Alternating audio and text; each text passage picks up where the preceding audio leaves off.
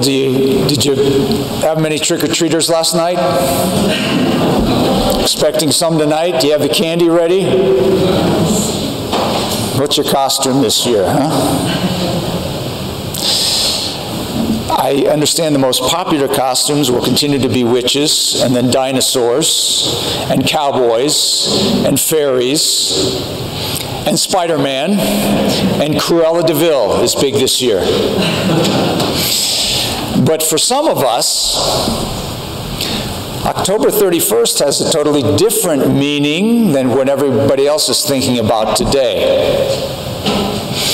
And I want to speak to what I'll call the real meaning of today, which has nothing to do with Halloween.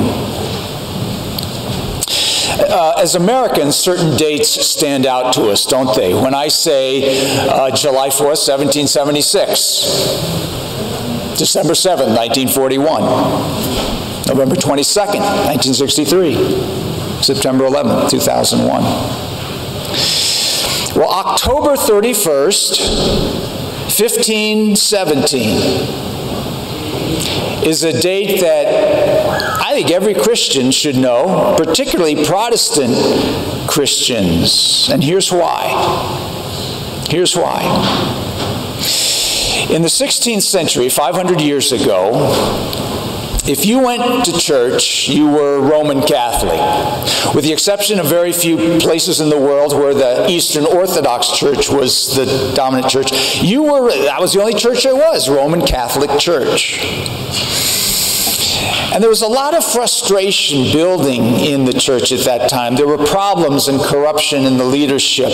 Priests were known to get drunk and have concubines. Uh, teachers and preachers were way too academic. They were speaking over people's heads. Bishops and cardinals enjoyed great wealth and great power, and they didn't really serve the people. And people saw the church as becoming just more and more irrelevant.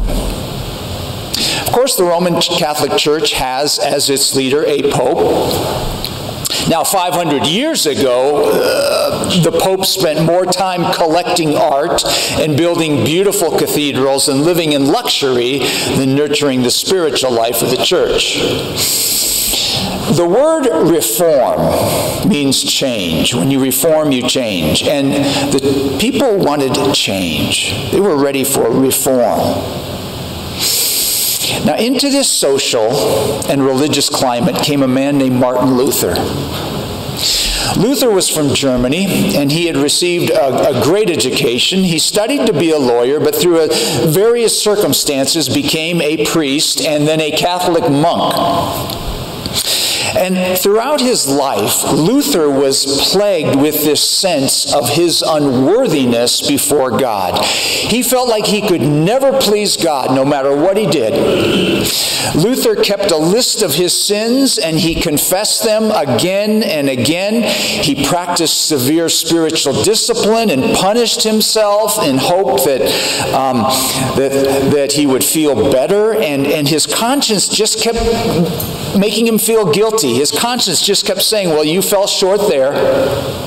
Oh, you didn't put that sin on your list of sins that you're keeping. Oh, you're not sorry enough. And everything he tried just made his torment worse. And he even grew to think of God as cruel and unjust and unable to be satisfied. Martin Luther just felt everybody, God loved everybody else but him. He earned a degree in theology and he got a position in the city of Wittenberg at the university, teaching the Bible at that university. And as he read and he studied Paul's letter to the Romans, the book of Romans in the New Testament, Luther began to have a life transforming, really a world transforming experience. God's word began to speak to him like never before. And it was Romans chapter 1, verses 16 through 17, that really caught his attention.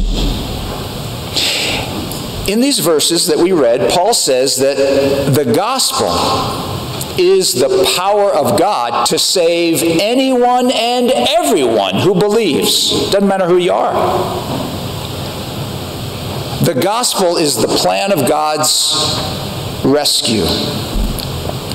In the message of the gospel, God reveals his way of making us, who are sinful, rebellious human beings, right with him. The gospel has the power to save us. Now, salvation has two sides to it. We are saved from God's judgment, but we're also saved to a right relationship with Him and to eternal life. We're saved from something and we're saved to something.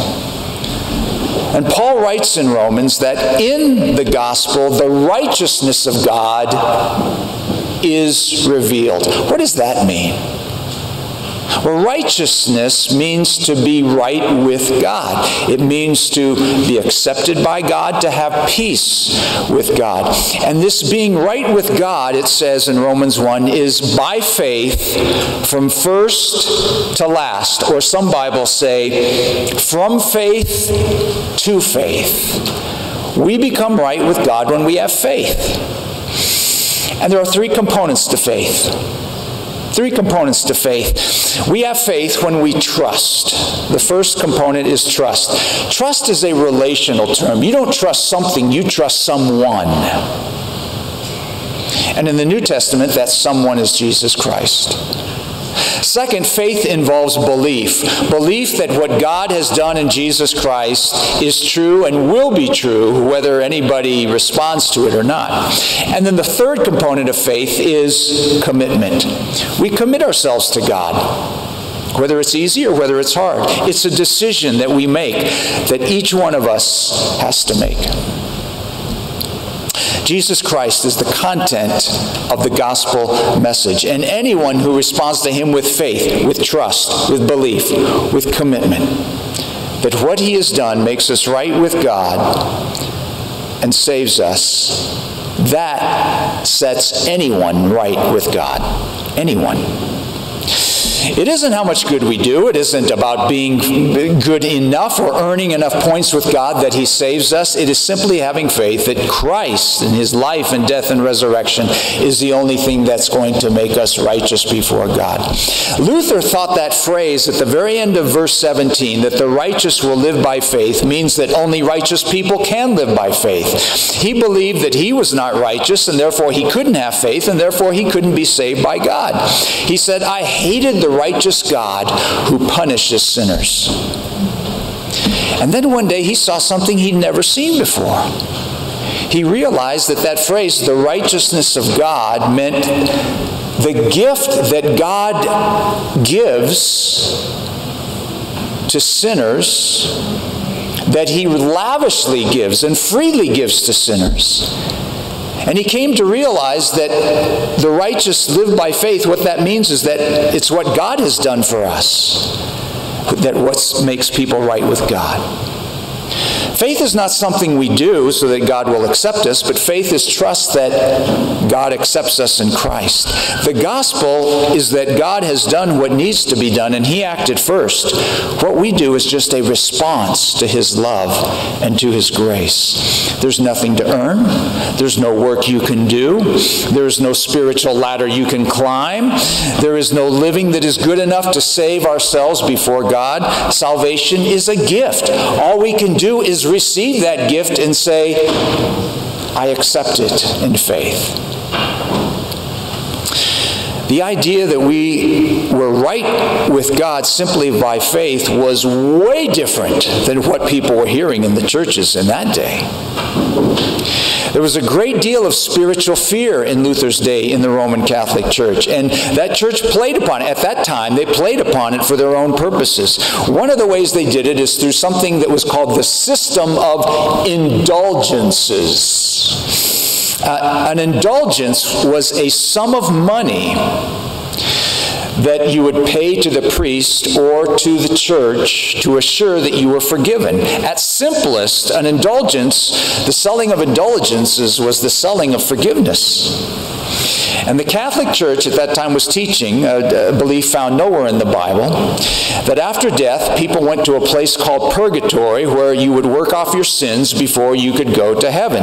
And priests taught that if you paid certain amounts of money, bought indulgences, You could earn credit against your own sins, therefore making your time in purgatory shorter, and you could even get your loved ones out of purgatory right now. And one of the most effective salesmen of indulgences and relics was a guy named Johann Tetzel. He was so good at this that the Pope hired him full time to just do this. Tetzel went around to the crowd speaking and asking them to imagine the voices of their dead relatives calling out from purgatory to have pity on them, asking them to pay the money to get them out of the torment in which they're currently suffering. And he, he would preach that as soon as people put their coins in the coffer, the souls of their loved ones would be freed from their suffering that they were experiencing. And people bought up indulgences like we were buying up toilet paper at the beginning of the pandemic. They did this to have their sins and the sins of their loved ones forgiven. They didn't know any better. The money was used by priests for all kinds of luxuries on themselves. It was a racket that was going on. And this type of corruption began to really make Martin Luther burn. Remember, he was a priest within the church, and he was also a teacher of the scriptures. And having come to realize that Scripture said that the forgiveness of sins and right relationship with God comes by faith, Luther knew that the Pope and the archbishops and the cardinals and the priests were, what, what they were giving the people was wrong. And on October 31st, 1517, Martin Luther took a list of 95 statements, or theses as they were called, and he nailed them to the door of the church in Wittenberg, where everybody would go in and out. And it was 95 theses, statements he wrote against this system of indulgences. It was a call for debate. He was calling out the church authorities. Luther was convinced that the Bible taught we're saved by faith in Jesus Christ, nothing else. This is what he said. He said, We don't depend on our own strength, we don't depend on our own conscience, our own experience, person, or works, but we depend on what's outside of ourselves. That is, on the promise and the truth of God, which cannot deceive us. The 95 Theses that were statements challenging what the Roman Catholic Church was doing, and Luther wrote them because he was so convinced that it's only by God's grace that we're saved. Luther engaged in several public debates with the authorities and the church about this over the next several years. He publicly, he loudly challenged the authorities solely on the Bible. Now understand, Luther wasn't the first one to ever raise these questions. Others had too. Here's the difference. All the others had been killed. It didn't go over real well. Well, eventually they threw Luther out of the church. No longer a priest, no longer part of the church. And in 1521, the Holy Roman Emperor summoned Luther one final time, and he gave Luther one final chance to take back everything he had ever said his teaching, his preaching, his writing. Luther stood before these authorities, and this is what he said Unless I'm convinced by the testimony of Scripture, or by clear reason, for I don't trust the Pope or the councils alone, since it's well known they've erred, they've contradicted themselves. Luther said, I'm bound by scriptures that I have quoted, and my conscience is captive to the Word of God. I cannot and I will not retract anything, for it is neither safe nor right to go against conscience. Here I stand, I can do no other. May God help me. Amen. And people all over Europe were taken by Luther's teaching. They were tired of the corruption of the church. They were tired of the spiritual wasteland it had become. And people were hungry for the Word of God and the promises of God's grace. Because Luther exposed the error the wrong thinking that human beings had the ability to get themselves to God or even get near enough to God to accept them. He realized it's not a matter of God being far from us and us having to strive to reach him. He said the reverse was true. People are distant from God, but God came in Christ to meet us. It wasn't really new, it was just a reclaiming of the gospel of grace that had always been in the scriptures.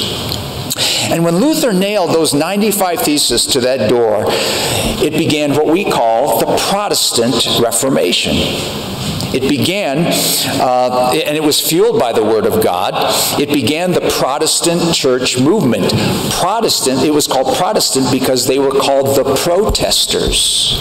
Protestant, protest. Some people left the Catholic Church and joined new Protestant churches that began to spring up all over Europe. At that time, there was also a new piece of technology, way before the iPhone. It was called the printing press. It had just come out. Now, Bibles, which had previously had to be copied by hand, they could be copied in mass. And beforehand, only churches or priests had a copy of a Bible. Now, common people could get their hands on parts of the Bible and read it for themselves. Up to that time, the Bible had only been published in Latin. Luther went through the whole thing and put it in the common language of the people, in German, where he lived, so that everybody could read it, everybody could hear it, everybody could understand it in their own tongue. And he printed that Bible on printing presses as many copies as he could. And people read it and they heard the preaching of the reformers and they came to understand themselves with God in a new way. They understood that being right with God comes by faith. Hence, this is who we are today. The Presbyterian Church is a branch of the Protestant Church. We read Scripture from what is called a Reformed perspective because we come from that Reformation. Uh, we hold to the ref- Reformed scriptural conviction that faith makes us right with God, and it comes through the mighty work of Christ and his death and resurrection. We still haven't gotten over October 31st, 1517 when Luther first nailed those 95 statements to the church door. It's part of our tradition, it's part of our history.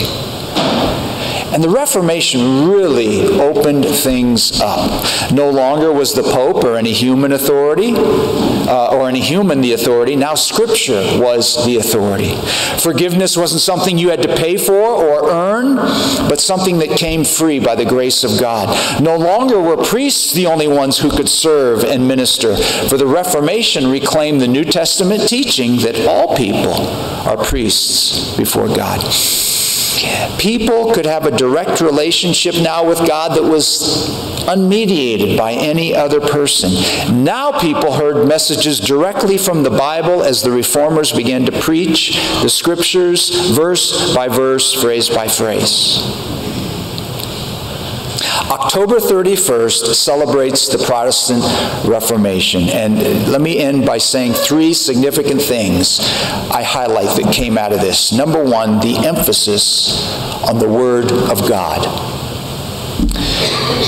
Martin Luther and the Reformation reclaimed the power of the Word of God. One of the mottos was uh, a Latin phrase, sola scriptura, which meant Scripture alone. They said, that's what we go on now Scripture alone.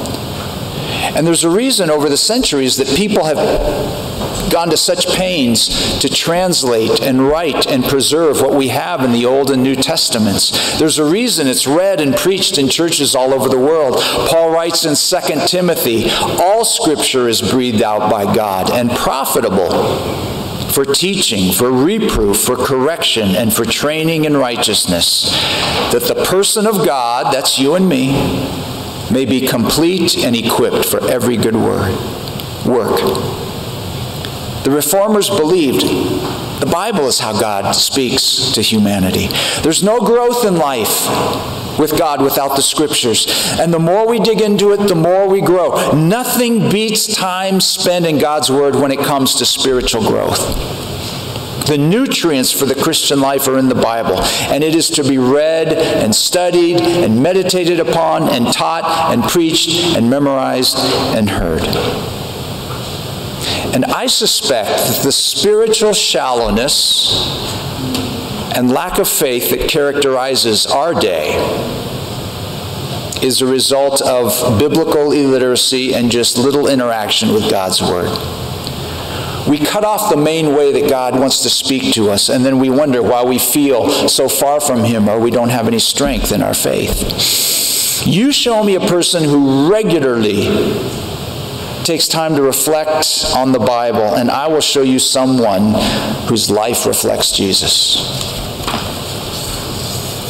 There's hardly a day that goes by that I don't myself get into the Word of God, and not just because I'm a pastor, but because I want to follow Jesus. Second thing that came out of the Reformation, the power of the gospel. The power of the gospel. If you've ever felt you can't cut it with God, or that you aren't religious enough, or that you aren't spiritual enough, or if you've ever wondered if you can ever be good enough, there is good news. God has done what we could never do. Our sin creates astronomical distance between us and God, but He has forgiven us and brought us to Himself. I know our modern times explains everything away with psychological, sociological, or genetic factors. And we say, oh, we're just too sophisticated to believe in sin. Yet our lives are filled with more alienation and pain and brokenness than ever before. We say, you know, it's just too pessimistic to think about sin. What we really need is to feel better about ourselves. You know, the good news of the gospel of Christ is the freedom that comes when we're honest. The power of the message is that it doesn't make excuses or rationalizations, but in honesty it says, you know what, I'm wrong before God, but I accept by faith the grace that God gives to me to make me right with Him. There's a freedom when you're able to say, I don't have to carry this anymore. God forgives me and helps me. And you say that every day. The power of the gospel is not only the diagnosis of the problem, but it is the cure for the problem. That God has come to us himself in Jesus Christ, lived the life we should have lived, died the death that we should have died, and given us his righteousness. Romans 1 In the gospel, a righteousness from God is revealed, a righteousness that's by faith. You may say, but I don't feel right with God. It's not our feelings that determine the reality of that relationship. It is what God has said about us that matters. And He has said that He sees us as forgiven and right and loved by Him. A free gift of God to all those who have faith. Last thing Protestant Reformation brought October 31st brought the flourishing of Protestant Christianity. The Protestant tradition was set off by Martin Luther, leading the Reformation, and it's given us a number of churches. One of those is the Presbyterian Church, just one of them. Each church within Protestantism took the Reformation in a little different direction, but we all grew out of this, and that's why this date is significant for us. When Luther posted those 95 theses, the church changed. You know, one of the interesting things about Martin Luther is he was a songwriter. Uh, Luther used to, one of his favorite things to do was to take local popular songs, often songs he heard in the pub, and he changed the words to words of faith. Imagine taking a song from the Rolling Stones or Lady Gaga and putting faith words to them. That's what Luther did. Probably the song you know best by Luther is Away in a Manger. We sing it every Christmas. He wrote that. But the most sung hymn of Luther is a hymn called A Mighty Fortress is Our God. The title comes from the opening of Psalm 46, which the words we used in our call to worship that God is our refuge and strength and ever present help in trouble. The original title of that hymn was A Safe Stronghold, Our God is Still. But A Mighty Fortress is Our God kind of became the anthem of the Reformation. There are two words that we're going to sing in this hymn that I want to clarify so that when you get to them, you'll know what we're singing. The first word is bulwark. Bulwark means strong defense or support. The second thing we're going to sing, we'll sing a phrase, Lord Sabaoth. Lord Sabaoth. Sabaoth comes from the Hebrew word for hosts, as in Lord of hosts. And Lord of hosts refers to God as the leader of the angel armies of heaven. As we sing this great song of faith, A Mighty Fortress is Our God, pay attention to the words. They are strong words. And let these words lift our faith and lift our hearts up to the Lord. Let's pray. Lord, we thank you for all the examples of faith over the years, particularly this morning for Martin Luther, whose courage and faith put a spotlight on your grace. Thank you for your word that tells us who you are and how we can be in relationship with you. Thank you for the good news that you came into this world in Jesus to save us. Help us to believe this gospel and live by faith. Amen.